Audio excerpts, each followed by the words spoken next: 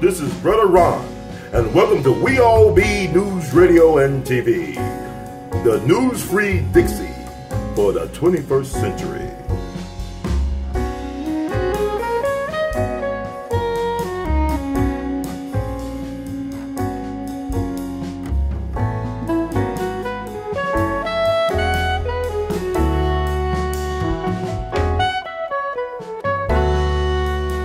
Morning and welcome to Spotlight 92. I'm your host, Malvin Massey. And of course, every Thursday we talk to the movers and shakers of our community, the people that are making things happen for your benefit and mine. And our guests today are here to talk about an event that is coming up quickly.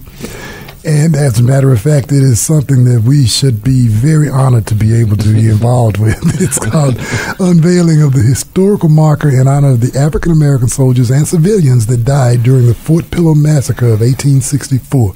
And if you're not familiar with the massacre at Fort Pillow, which is about 40 miles up the road from Memphis, Fort Pillow was uh, originally constructed by the Confederates to watch the Mississippi River and protect Memphis, but Memphis was overrun and taken over by the Union soldiers, and Fort Pillow was taken over by Union soldiers as well. And uh, the group that the group of soldiers that were there in 1864 in April when this happened, they were the uh, they were what were they? They were the we always hear about the 54th Massachusetts from that Glory movie, but these guys were from the 6th U.S. Colored Heavy Artillery, most of them, And uh, and uh, there was another unit there too.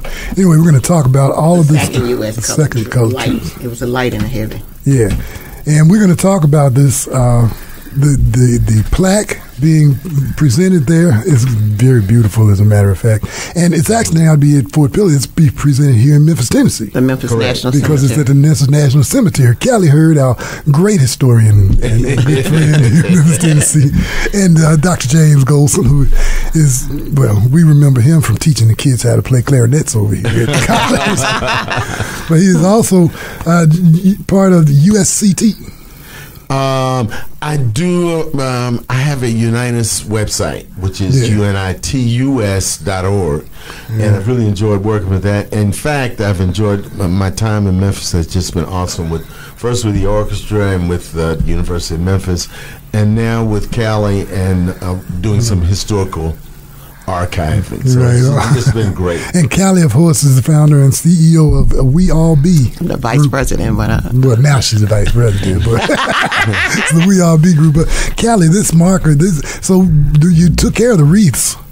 Uh, what this was earlier this year. we didn't take care of it. What we did was we started a movement. So each year we're going to have the reef, and next year when we do it in 2019, we're going to include both the Union and the United States Colored Troops. So it's going to be 239 carnations, red and white, Okay. in Section B. Because there was like there was 600 troops there, and, and supposedly they were almost even as, as 600, uh, 300 black and 300 white, Yeah, it was something like that. something like that. In that one unit, yeah. In that one unit, and, and the officers, of course, in those days were always white. The Right. officers white. Absolutely. And those three officers are buried in uh, the Memphis National Cemetery too. They brought they're here too. Mm-hmm. Oh, that's cool. Yeah, one of them was really killed early on in that battle. Yeah, he was hitting the chest by a sniper. And the first part, I, was- I started reading up on it again Uh-huh. because you know this is something that, that this is a historical uh, thing around Memphis, Tennessee. As a matter of fact, it, it got to be huge in 1864 when it, It happened. did. It did. Remember Fort Pillow, and, and in other battles, black soldiers would, would voice that Yeah, sentiment. it became the battle cry for the Yeah, whole. and as a matter of fact, uh, uh, Nath, uh, uh, Nate- Sherman's no Sherman's march to the sea was sparked. Uh, the the ruthlessness that which they destroyed South Carolina Mm-hmm. and Georgia and places like was sparked because of uh, Fort Pillow massacre. Yeah. Yeah. Yeah. Huge reaction, emotional reaction, still to this day when people find out about it. And if you visit Fort Pillow, you see it's it's a very dreary, um, overcast. You can just feel the death still haunts Still the around there. Yeah. And some of the stories are horrible. Well, well, at least how it happened. Of course, we know this about war anyway that it's bad. But uh, this was particularly vindictive. Vindictive Yeah, because the reason I'm saying we're not concentrating on the past when we do this project, because it's Yeah. a healing process. Because if we keep on pointing to your great great granddaddy did this and that, we're gonna never go forth. And then when I gave my uh, invite, I gave the "I Have a Dream" speech what King used, where he wanted us to come together. Because Yeah. in the end, you know, when you start digging into your roots and stuff, you're gonna have mulattoes, you're gonna have whites, you're gonna have Indians, you're gonna have everybody. Yeah. But this is a period that, uh, because it was, uh, remember Fort Pillow and we forgot for 151 years, we're trying to bring that cry back so people can understand when they say is slavery a choice, and you look at those people, they knew that when they did that battle that they probably would, and when they went into war that they probably would die. But they was willing to do it to end slavery. So we're trying to get people to realize the historical value of what this is. It's not about how it happened. It's about the results of what it can be in a positive move toward healing people. Very profound. Okay. that was very profound. And- and- and Charlie really tends to wax that way, you know? but you, you also have to remember we're only what 150 years in, mm-hmm. Yeah. in terms of in terms of the 300 years of, of slavery. So hopefully it won't be another 150 years till we're completely mm-hmm. out of it. But I think if um, we start learning our history and learning the value, because what people think is they think that the past shouldn't be remembered. And if you look at the way the Jewish do the Holocaust, they remember it not because they want to get angry at people, but they want their kids to never forget this moment of how we were helpless.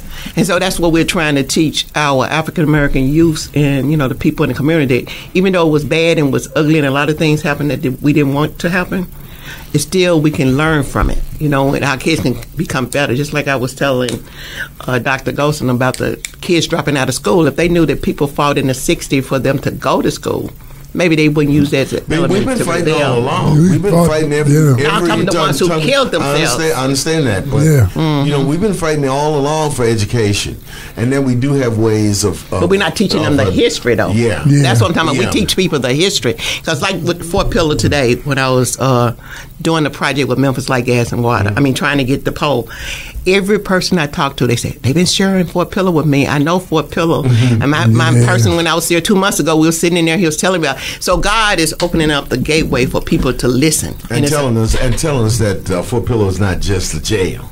Right. Yeah, That Fort yeah, Fort yeah. Pillow Right. actually is on the river, Right. And it's a battlefield, a, a historical battlefield Yeah. that goes beyond the jail. That's true. Yeah. yeah, It was a, it was a terrible situation, but it, it was one that just like everything else during that time was uh, it, it positive came out of it. That's Yeah. true. Uh, Mhm. it, it, it, it made it was part of the idea. As a matter of fact, the, I've been reading up on it too. You know, you got, you got everybody on it too. yeah, everybody coming from the left and right. I yeah, but I have seen. I, I know that that reading up on the colored troops at the time, a lot of these guys were, you know, they knew what was expected of them. I mean, they, they knew that this was something that we got to prove that we're worthy. We That's we got to prove that we can die just as well as anybody can die For a you know, cause. For a Mhm. cause, and the the idea of them all on their knees and hands up and surrendering at Fort. Pitt, I don't believe that at all. No, and I that's have what the read- historian say it have- wasn't like that. You know, I have read that that you know the because of the the escape route that they had going toward the river, where there was a, a gunboat there that was supposed to be there. They were supposed to be protecting them with their guns, Exactly. firing canister at Yeah. these guys as they come down this hill to get Yeah. to get on the boat to get out of there.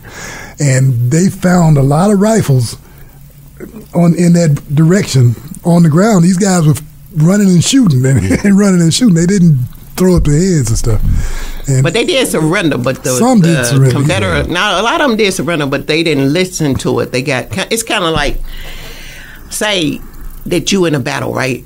And and regardless, if you say I'm gonna kill him, regardless, you don't care, and you start just shooting, kind of like those snipers that have been killing people in the school system and stuff. Mm-hmm. Yeah. And they get to the point they got they got real crazy with it. I don't think they really started out because we've been working with the. Shelby County uh, yeah. Historical Right, Society, yeah. and we Yeah, both, yeah. you know, we and, got two and sides. Also some extraordinary uh, historians. And you- when you Andrew look- Ward Yeah. and Bobby Lovett.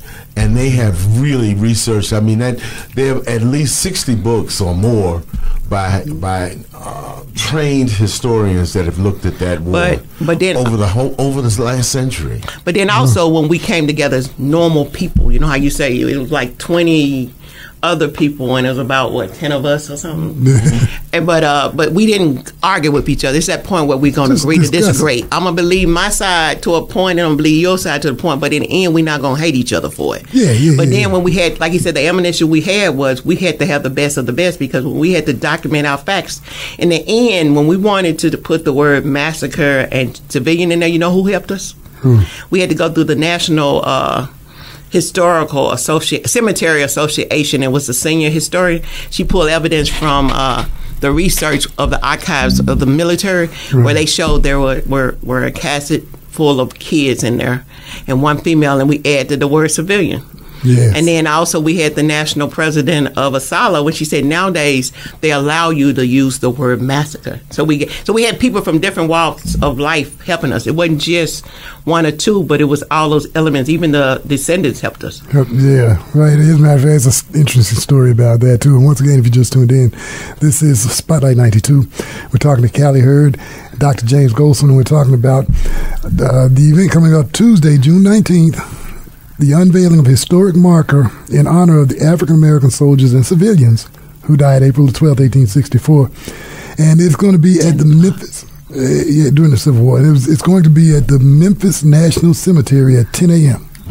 And that's something else that I didn't know. And, and, you know, I think I'm like everybody else. Fort Pillow, yeah, I know about Fort Pillow, but I did not know that they brought those guys here and buried them in Memphis. Yeah, August of 1867, they moved them to Memphis. Yeah, they couldn't maintain that battle. They couldn't maintain that spot. That physically could not maintain it as a as a federal burial site. And then also, you know, the regular civilians wanted that area not to be with all those soldiers in there.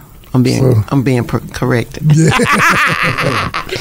but they yeah, but so they moved them here to Memphis. And so, how many graves are? How many are here? It's a 109 graves representing the remains. Remains, You have to remember that they said during that time when they had the battle, the Mississippi was bloody red for a lot of days.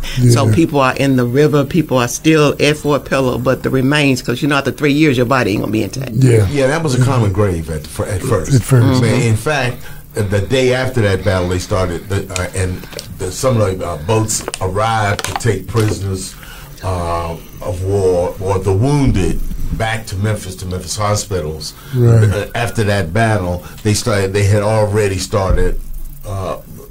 Constructing a common grave. Those were the graves that were moved to Memphis. Yeah, it was. they were all piled in one Yeah, grave, yeah. and they they just moved. It wasn't graves; they just made Made 109 big- graves, but it's it's, it's remains. Remains, So that's yeah. a difference. Yeah. Because Oh, you see, yeah. I thought it was 200. Some people died. Well, it still was It was- 200 yeah, some it people, but Yeah, those are in a common remains. grave. close to 300 actually. Yeah. Yeah. yeah. and then some say it was 40 uh, civilians.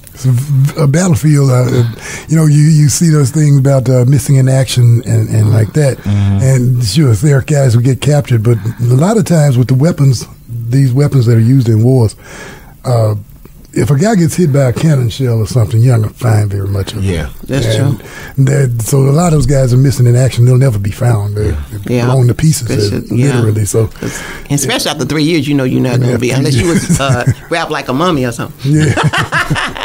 but this plaque is so pretty. So how'd you get this? Where, where, where'd you get this done? Well, uh, what it was was I went to several people because I had a vision that uh, even though people say it takes three to four years to get a marker place, Yeah. I just had this vision that God was going to lead us to it. So I got with the different people like the, uh, uh, uh, Joe Williams, who was a descendant of Peter Williams, which we ended up putting the picture of Peter on there. And Peter's the only soldier that has a picture. So he represents all the soldiers. them. But uh, and he had this thing for the longest that he wanted to have a a, a permanent memory. And One I black soldiers.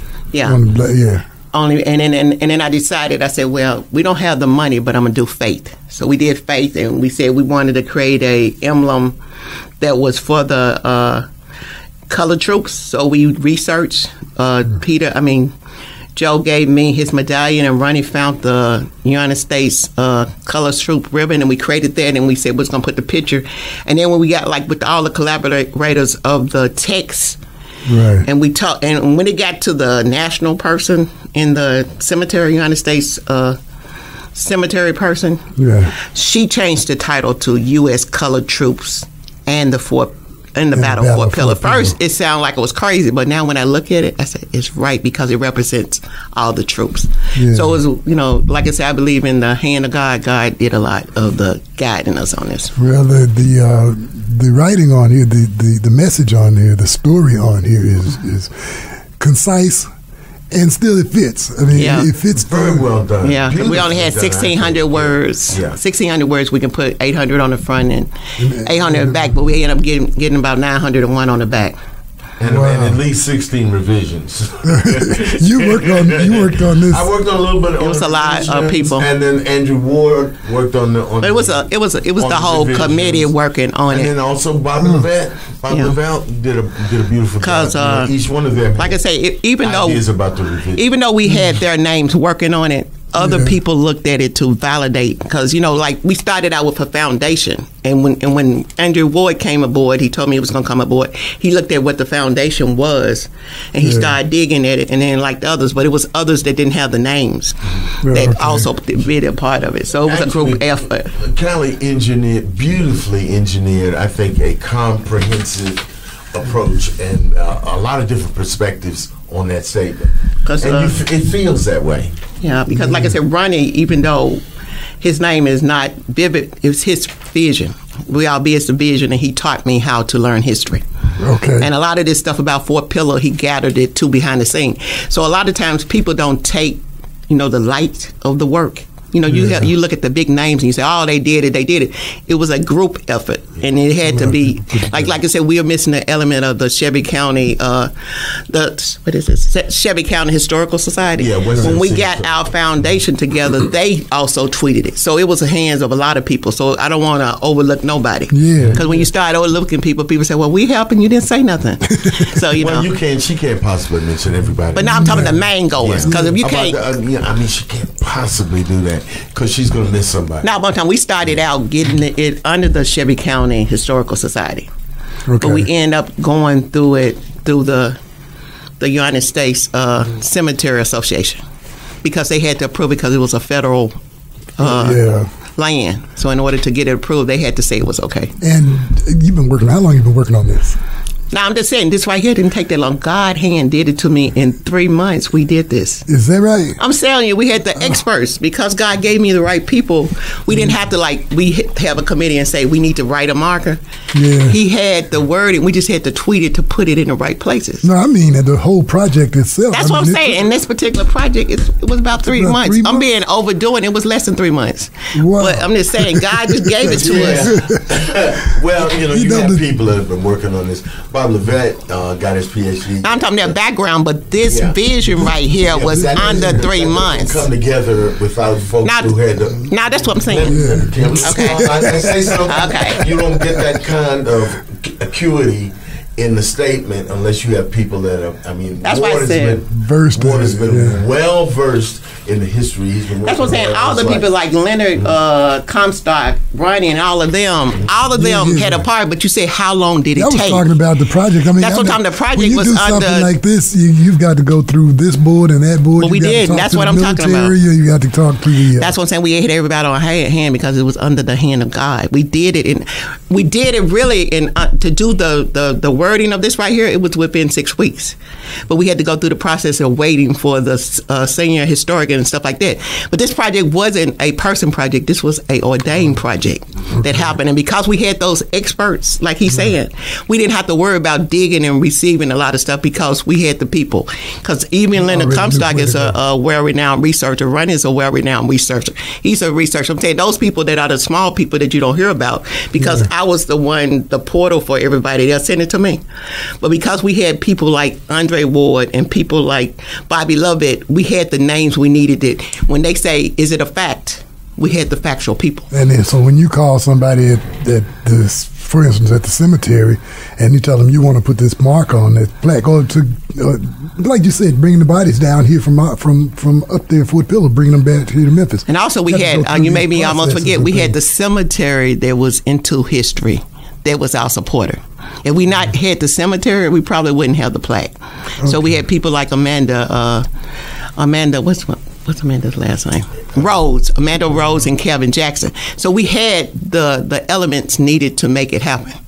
And because we had these experts, it would have took us what two or three years to write it. Yeah, that's what I was thinking. Yeah, you know. it would have. Go. I thought it would have taken a couple of oh, years to get it all together. But it was already ordained to happen. Just like when we did the carnation thing, now we're getting it bigger and bigger where it's gonna like eventually it's gonna be red, white, and blue. Yeah. I'm serious. I believe it. I believe Callie. I, I, every, every project you ever get involved in, it goes on to fruition. That's really cool. And once again, if you just tuned in, this is Spotlight 92. We're talking, Callie Herd Dr. James Golson. We're talking about an event coming up Tuesday, June the 19th, in 2018. It will be the unveiling of a historic marker in honor of the African American soldiers and civilians that died on April the 12th, 1864, at Fort Pillow, uh, 40 miles from Memphis. Uh, and it's going to be at the Memphis National Cemetery, and it'll happen at 10 a.m. The unveiling will happen at 10 a.m. You know, when first said, when I first started, you know, said that they had moved these soldiers here, I thought it was in Elmwood. Wow. And I thought, wait, I did a voiceover for the for the uh, for Elmwood for the tour thing, and I don't remember anything about the Yeah, that's true. This national cemetery, the Memphis National Cemetery. Uh, this is this is out on the end of uh, s- uh, Jackson. Right over there, over Mm-hmm. And also, I wanted to mention that uh, I'm uh, Memphis Asala. It played a big Asala. role. They're a sponsor, and plus, I started the project. It with we all be with Memphis Asala, so Mm-hmm. it was like we had Clarence Christian and a lot of other people, in addition to the president of Asala, which is uh, That's A S A L H. Evelyn Higginbotham. What is Higginbotham? What is a uh, what is it? It's an acronym, but what's it stand I'll let you say it. I don't know. Oh, that's the Association for the Study of Life and History, African American Right. Life and History, under Carter G. Woodson. Okay. Yeah. So Yeah, that's what it was. so so it's it's founded in history. So we have so many uh, affluent people working on this. So we didn't have the like I don't know people. We had the people. yeah, because I had uh, the president of, of Asala who was here, the Memphis area president. Right. He was here and did a show with me once about about But we about got a the new president that's a female, Evelyn Oh. Higginbotham. Oh, okay. Mm-hmm. Well, I haven't seen her. And you got to get over here too. Well, she's been she was on the faculty here. Oh, okay. She She's was. not. Yeah. I didn't know that. Yeah, Higginbotham was on the faculty here. She's in Maryland now. I think. Yeah, No, she, she's in uh, not Maryland. What's in, the in the DC the rich place that people stay? What's Yeah. that place that the Kennedys go all the time? I can't think of the name of it. Oh, in Massachusetts. Whatever that place is, real well known. I can't think of that name. That's yeah, where she yeah, stay. yeah, uh, Higginbotham was here. Oh, okay. The Hamptons. The Hamptons. That's what I'm yeah. thinking. Oh, she lives in the Hamptons. well, that's something else. Though. I mean, it's, it's, you pull together so many people to put this thing together, and and the idea too. That's another thing that you mentioned that uh, the grandson, the great grandson of Private Peter Williams, Mm-hmm. who fought at the Fort Pillow fight. He, you said he didn't even know that his grandfather was here. Until now, his grandfather didn't die. What happened was they thought, great-grandfather, I mean. they thought he had died. They left him for dead, but he didn't know about his great great his great grandfather until uh, 2000 Is that right? because he was doing research on his uncle that was part of World War II. His family then served 830 some years in the military. Wow. So he didn't find out to then because his uncle said, "Why don't you write about your great grandfather?" Your grandfather, which was in Fort Pillow, and then he started researching. Was he a survivor? Or- Yeah, he was a survivor, but they had left him for dead. But uh, I white, noticed they uh, said they had doctor buried- had saw him in the piles and said that looked like Peter Williams, and he pulled him out. Wow, yeah, 'cause they said they had buried some guys in the and some has actually And she has another clawed person- them way clawed their way back out of the hole they had buried them. Right. They were still alive. She has a woman who has um, whose whose father's head was bashed in. Grandfather. Yeah, mhm. grandfather's head was bashed in. That was Burgess. And Burgess. lived along and uh, Wow. to a very long life. Although he had headaches. And they made him Mm-hmm. a prisoner of war. He went through a lot, but he ended up finally getting his pension at the end. Wow, Th- he was a prisoner of war. I thought. Yeah, he became a prisoner of war. You know, they captured some of them. They didn't kill everybody. Okay, I thought that that was there. Well, at at the time, the the Lee's. Uh, the- not Lee, but uh, Jefferson's order was to to revert them back to slavery. Uh, bring, Right. bring them Now, back. the ones that were alive some that of they them were captured. taken. Some of them were Captured. taken to that prison in uh, South Carolina. Some of Andersonville. and didn't make it. Yeah. They escaped the trip. There were several. There were several black soldiers that escaped that trip and actually went back and found their regiments. Oh wow, Yeah, Yeah. and fought in the war still. And they Yeah. filed reports about what happened. about Fort Pillow. what happened, and that's how we know. That's how we have prisoner reports about what went on at Fort Pillow. But essentially, the Confederates uh, ignored those reports. They didn't want. They didn't think that they were valid, or they said that they were. Yeah, well, I loved it. At the time, the New York Times, the, the every, newspapers all over the country were, Oh, yeah. were all over that story, and it just helped. It just sparked the uh, Union soldiers. It sparked the Union into more. And see, that's why More it's so action. relevant of what we're doing. That you know, the battle cry was "Remember Fort Pillow," and after 140, 51 years, 2015 when we first started doing the project. I mean, 2016, we didn't know. We went on the wrong side, giving honor. And this guy, Leonard uh, Comstock, called me from uh, California. He's a professional grave finder for Civil War veterans. Right. And he said, I know where the bodies are. And in 2017, we started giving honor to the 109 remains. Wow. That's how we found. But it was hidden. But it was time for them to be remembered. Yeah. And that's why the marker is not unusual that it's being done so fast because it's not in our time; it's in God's time. Is the it, the the grave is kept pretty well at the cemetery? Oh yeah, the it? grave is. It's Okay. all the graves for the black soldiers are marked Oh, as unknown soldiers. You know, Yeah. very military, very very well done, Mm-hmm. well sculpted, clean, clipped, Mm-hmm. Yeah, yeah, yeah. That's cool. I mean, Yeah. yeah. Cats deserve like something. Arlington. It's on the Yeah. picture. Those are the graves right there. Yeah, yeah. Of course, we don't have video, so you can't see, but I can. but this is uh, this is really, this is going to be a Look really nice, nice. with the marker on it. yeah, it looks really nice with that marker sitting there. That's a great remembrance. And, and and and great history. I'm so glad that you and Ron are keeping this history going. Well, all of you, ca- all of you Yeah, keeping but that's what Ronnie going. gave. He started out at WashU in something else, and he said, "Mom, I'm changing my uh, career to helping African Americans learn their history." And he's Yeah. been blessed that a lot of the big time people been helping him. And You- he if you know, "Boy, we're talking about her son, Ronnie Herd. Yeah. And uh, he is a historian. I mean, now this is a cat that can sit down and you ask him a question about something in history. And then you sit down, you put your feet up because he can talk for an hour. Yeah, because he learned the whole encyclopedia by the sixth grade. You kidding? I'm serious. Did he? Because he was Mr.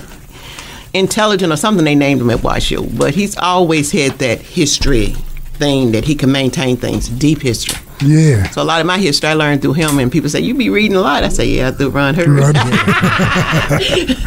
Ron is something else. He's got a war chest of, of, of things for you. yeah, he got it all. The, the Jimmy Lunceford thing that we did. Yep, and he uh, kept got that, and now that. he is bigger than life. Because, like I said, Sunrise is coming in October. We hope people come to that.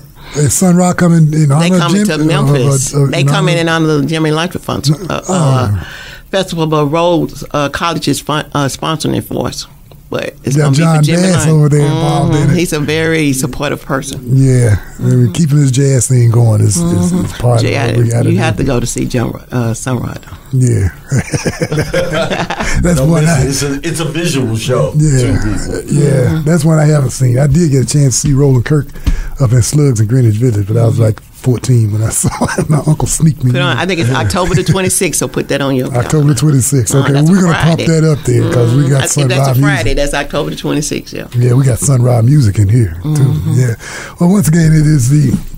It's happening Tuesday, June the 19th. It'll be the unveiling of the historic marker in honor of the African American soldiers and civilians who died on April 12, 1864 at Fort Pillow in the massacre, we'll call it. And it's going to be at the Memphis National Cemetery, and it'll be at 10 a.m. And uh, it's from, it's uh, provided a brief overview of why the it's the We All Be Group Incorporated that has put this organ, put this together. And Callie, of course, is uh, well, she is the We All Be group. and we're looking forward to a lot of people showing up out there. But this is very important to, uh, part of history for our children to learn and for kids to know. Because we know, as a matter of fact, so many things about the history of that war, that and especially down in this area where we are after uh, Andrew Johnson put all those people back in Congress and everything, and, and things were started reverting back to what they were, except for the slavery part. Uh, the history was written by those with that slant that uh, they, you know, they were, uh, they had a great cause there, Confederate cause, and, and they wrote all the history that was around here, and that's, and then they stopped doing history in, in classrooms and stuff, uh, it's very pretty much, and the history Yeah, they back did up. get was slanted toward the Confederacy. And- But there's a very interesting book by Mitch Landrieu, put on a southern right, a southern person, a southern fella writes on the Confederacy and the Civil War. Yeah. So it's uh, Uh, It's, it's well done, and he got some uh, many statues down in, in New Orleans. You know, Yeah. hopefully some some uh, faithful and authentic Southerners will follow his lead. We'll see. Yeah, because we don't want to be mean about that and everything, but after all, that was a traitorous act. It was treason, and every one of them was a traitor to Yeah. this country. So, but um, I don't want to alienate anybody, though, so I won't say those things. But once again, this is a great historical marker. It's U.S. colored troops at the, and the Battle of Fort Pillow is the marker. It has the story on the front and the back. It'll be at Memphis National Cemetery, 10 o'clock on June the uh, June 19th. also, June nineteenth is a significant day. That is the African American uh, Fourth of July. That's when the last group of slaves found out that they were free in Texas, Galveston, Texas. Yeah, that's why we got two yeah. things going on. Yeah. Larry Batchelor's done a lot of work with that, and he's got you know he's writing now, and it's good to see him doing that. Yeah, Juneteenth. So we want them to remember both of them. So we're trying to start that that celebration. Listen right there. Callie Herd, James Ghost, thanks so much for Thanks being a lot here for having me. And this has been Spotlight 92. We'll do it again next week. In the meantime, you're back for more of the best in jazz. This is U92 FM.